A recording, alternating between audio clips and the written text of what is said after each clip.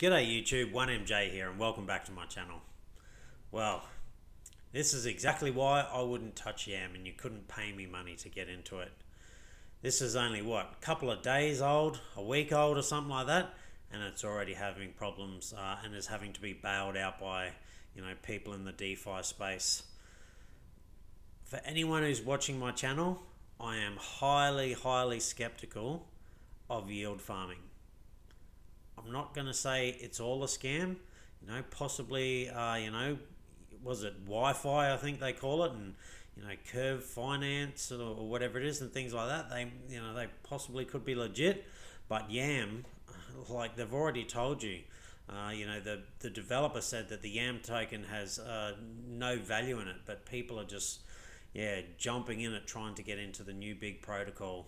And basically, if you go down to the bottom, what happened is, uh, I'll read here. While Yam's outlook appeared bleak, when only one third of the required tokens had been contributed two hours into the campaign, widespread efforts from across the DeFi community quickly rallied uh, strong support for the protocol. The support includes efforts by CoinGecko, Synthetix, uh, and Curve Finance to encourage contributions to YAM's campaign, while numerous benevolent, benevolent YAM whales farmed YAM uh, on Uniswap to bolster the number of tokens allocated towards recapturing governance. So basically, there was a bug in the system.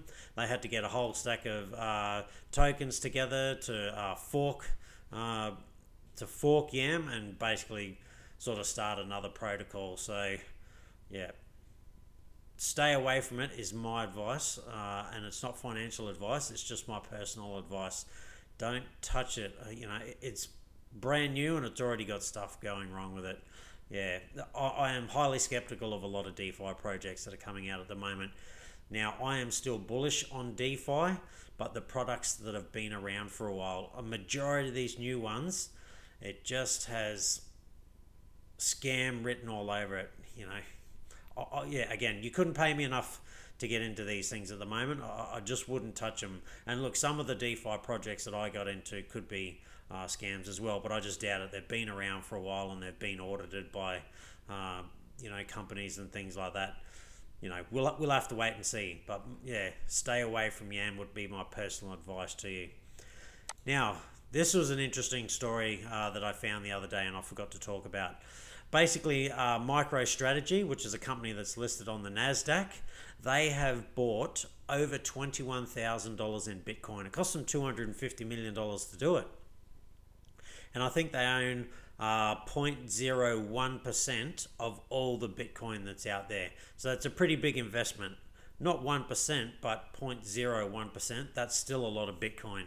And again, it's, I mean, 21,000 Bitcoin out of, you know, 21 million in total Bitcoin, and there's not 21 million uh, Bitcoin anyway. There's been Bitcoin that's uh, been lost. So, yeah, pretty pretty ballsy of them pretty yeah that, that's out there. That's brazen you know they've really gone out on a limb.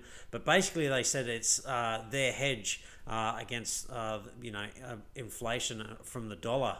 Now i think this is only going to be one of many companies that are going to start to do this uh, i think you know the the modern the modern monetary uh, program that they have at the moment basically just printing you know the dollar into infinity thinking nothing's going to happen.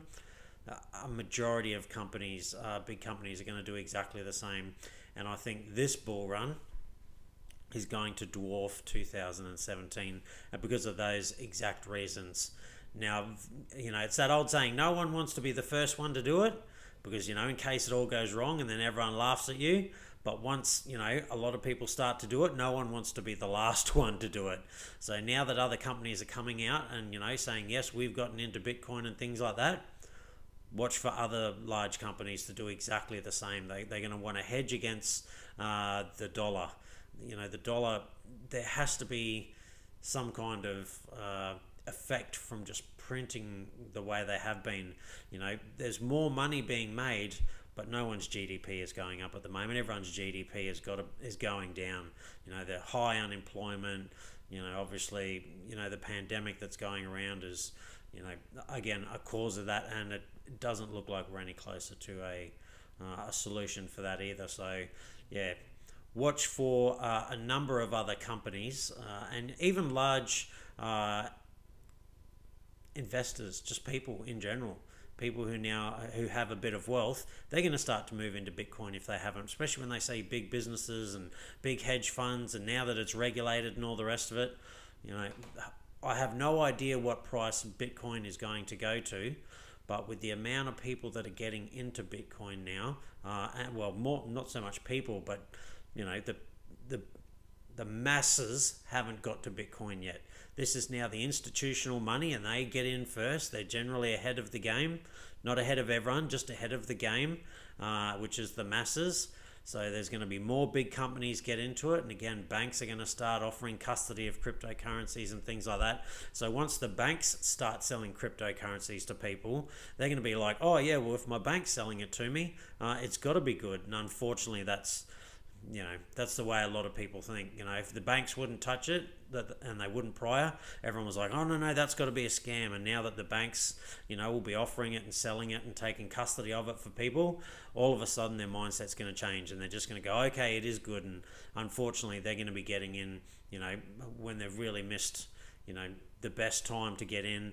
And as I said in previous videos, you know, banks are going to charge you to hold custody of your cryptocurrencies and things like that. So, you know, you buy a whole Bitcoin and it goes to, you know, 250,000, let's say, and I'm not saying it's going to 250,000 anytime soon, but let's say it does. You don't have $250,000 worth of Bitcoin. You've got, you know, whatever percentage uh, that's left after the bank take their cut. And they're going to be using that to, you know, do the same system that they do now. They're going to be lending it out to other people and, you know, margin trading and just trading in general and all the rest of it.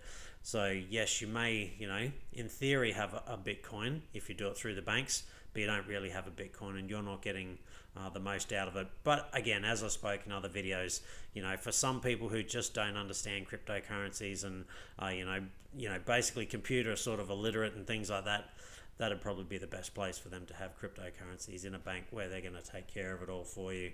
But very interesting, 21 uh, 21,000 uh, Bitcoin in one go. And again, they didn't just do this. This is just the news has been released. They would have did this a little while ago, so I'm going to say they got in at a really good price. But watch for other big companies uh, to come out and say exactly the same, and then yeah, watch the the market really start to pump now, a follow up from yesterday's uh, story that I did Ethereum's gas pain. Ethereum, the second largest cryptocurrency by market uh, capitalization, was up Wednesday, trading around $388 and climbing 2.7% uh, in 20 uh, in 24 hours. But the gas fees are absolutely astronomical at the moment. They are ridiculous. This is so sad because basically at the moment, if you're like me, and you're not mega rich and don't you know have thousands and thousands and thousands of you know ethereum you just can't afford to use it. You know it's going to cost you $40 you know $30 to send some ethereum somewhere. So let's say even if you had a whole ethereum at the moment which is about $300 to send it anywhere you're going to lose 10% then if you decide you want to send it back, there's another 10%. You just lost 20% of your Bitcoin sending it, you know, to your to your wallet. And then when you want to eh, send it back to cash it in, you know, you're going to have lost another 10% now, but I mean, obviously, I believe Ethereum's price is going to go up, but so are the gas prices, and that's what really concerns me. Is we're not even in the peak yet, and you know, Ethereum, you know, it's got all this staking coming out, staking is the last uh, thing that they should be worrying about at the moment. But unfortunately, it's the first thing that they will be worrying about because it's the whales and you know the institutional money, uh, you know, and governments and things like that. They're not going to worry about 40 50 dollar transaction fees. And so, unfortunately, it'll be them that'll be able to get in and they will pay those exorbitant fees. The average day, you know, the average Joe everyday user like you and me, ether's no good to us, and that's really sad. I hope that uh, scaling solutions come out very quickly. I know that's part of uh, ETH 2.0, but unfortunately, the first part of ETH 2.0, from my understanding, is the staking. And yeah, I don't think staking is what we really need to worry about. I think we really need to get the yeah the gas prices and yeah scaling solutions sorted first. But anyway, hopefully I'm wrong, and hopefully you know when ETH 2.0 does come out, or hopefully even before ETH 2.0 comes out, there are some scaling solutions because this is really really sad news for anyone who's invested in Ether that doesn't have a lot of money. Uh, you know, again, if you've got you know not even a whole Ether. You, you wouldn't send it anywhere. You'd do nothing with it. You just couldn't afford to. It cost you too much. Like I said, at thirty dollars, you know, you're losing ten percent of your ether at the moment to send it anywhere and do anything with it. That's that's just too much. That that cuts out you know the masses, which is really you know where the big uh, the big inflows uh, need to be. Uh, first, you know, prices to really skyrocket. Institutional adoption is great, but if the masses can't use it, then it, yeah, it really won't help Ether's price. ETH's price uh, as good as what it could. I'm not saying it won't go up and go up by a lot, but yeah, if they don't get that sorted, that's an issue. All right, lastly, let's go have a look on CoinGecko and I'll just refresh this. See where we're at. Yep, so we're back up in that $366 billion mark. So again, it's up a little bit, and Bitcoin's found its way back to that $11,500 range. Uh, you know, up 1.7%, but obviously it was down as well.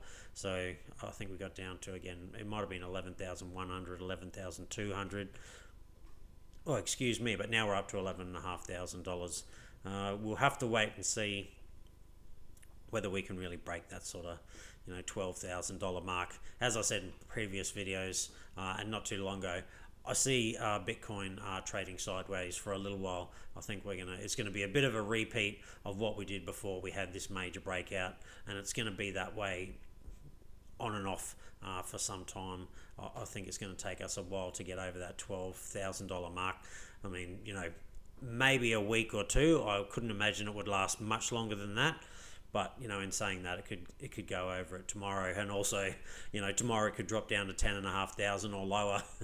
you know, I, I, really don't know, but just my gut feeling uh, is that we trade sideways for a little bit, a little bit at least, probably till the end of this week, uh, and then hopefully we'll have seen whatever moves done. But let's have a look and see what the big gainers were. Woof, Numeraire, 151%. Wow, well done. Swipe, 38%. Algorand, I've got me some Algorand, so I'm pretty happy with that. It was taking a while to move, and uh, Algorand's doing quite well for me now. So in the last seven days, up 70% and 30% in 24 hours, so I'm happy with that. Chainlink, that is on such a run, and I honestly think Chainlink's not done. I think Chainlink is going to go a lot higher. A, lot higher. Again, I couldn't tell you exactly what, but it would not surprise me if at the peak we see a 200, maybe even more dollar Chainlink. Uh, and even more. I mean, there's, you know, I've seen some videos from some people on chain, uh, videos on YouTube of people talking about Chainlink a thousand, two thousand dollars and things like that. Who knows? In in all fairness, Chainlink uh, is something that I probably won't sell uh, at the hype of the bull run. I, you know, it, it went up during a uh, bear market, uh, and obviously now it's really starting to pump. Uh, I would just hate to sell Chainlink to find that it again we go through the next bear market and it just continues to go up. But in saying that, we'll have to wait and see if Chainlink gets to you know two thousand uh, dollars in the bull market. I will definitely be selling some of my Chainlink. There'll be no doubt about it. But if it gets to sort of that, you know, maybe $100, $200 mark uh, at the end of this bull run, then I won't be selling any. I'll just hold on to it. Uh, I think that'll still be good value uh, for the long term uh, at that. But I don't know if Chainlink would be good value at $2,000 uh, in the sort of mid to short term. In the real long term, I think, you know, you'd probably still be all right. But again, that's just my personal opinion. you know, not financial advice. I'm not a financial advisor. But, oh, Nest Protocol 228%. Thor, Thorchain 57%. Lisk, God, I remember when that was trading at a couple of dollars uh, and I mean like a couple of dollars. Uh, I think it might even been up to around 12 $20 or something at one stage. So, you know, come back from the dead. It's at a dollar sixty-seven now and it's up 26%. So, yeah, interesting. Cosmos, uh, I am a fan of Cosmos and I've got myself some of that. So, uh, I was at a loss for a while. I've finally, uh, you know, got into the green on that, which is good. Uh, Icon, something I haven't heard from a while, uh, moving up. Zilliqa Loopring. So, anyway, uh, I'm not going to ramble on too long. Definitely still plenty of profits out there, and, and I think there would be no doubt about it at the moment. We are 100%, you know, in a bull market right now. Anyone who says we're not, uh, you know, who knows? Maybe they're a lot smarter than I am, and they know something that I don't know. But uh, I think it's it, at the moment to me, it looks like 100% we are in the next bull market, and I think we're still very, very early. And as I said in a video uh, not too long ago. I am still buying cryptocurrencies. Uh, I'm not really playing with the lower cap stuff too much at the moment. Uh, I will put a couple of dollars here and there into some of my projects, but really, all my lower cap uh, positions, I've built them and now I'm just going to let them ride and we'll wait and see what happens. But I'll constantly put money into Bitcoin. I'll constantly put money into Ethereum, even though I can't do anything with it. Hopefully, you know, scaling happens sooner rather than later, and you know, we can move Ethereum around for less than you know ten percent uh, gas prices of what it's worth. Uh, that would be good. I'll still possibly put some more money into XRP. I still believe in XRP, and I think it, you know, the sort of 28 cents it's trading for now uh, is still quite cheap. You know, it wouldn't surprise me to see uh, XRP go to around about the $10 mark in this uh, next bull market. And again, there's videos out there uh, on YouTube that you can look up and allegedly there's people that believe XRP is supposed to be a $10,000 coin, a $10,000 stable coin. Uh, I mean, if if XRP went to $10,000, I would be absolutely laughing. That's something that I could actually become a millionaire off. if XRP went to $10,000 a coin, I would be a millionaire. I'm not sure if I have enough of anything else to become a millionaire, but at least I'll be better off than uh, where I was when I started uh, if we have a, a good bull market uh, and, you know, I, I make some smart decisions and sell out at the right time. Not sell out because I won't sell it all, but cash some out, take some of the profits is probably a better way. Anyway, that's it from me. Stay safe, be kind to one another. Hopefully, you're still on that game train, and I'll see you next time.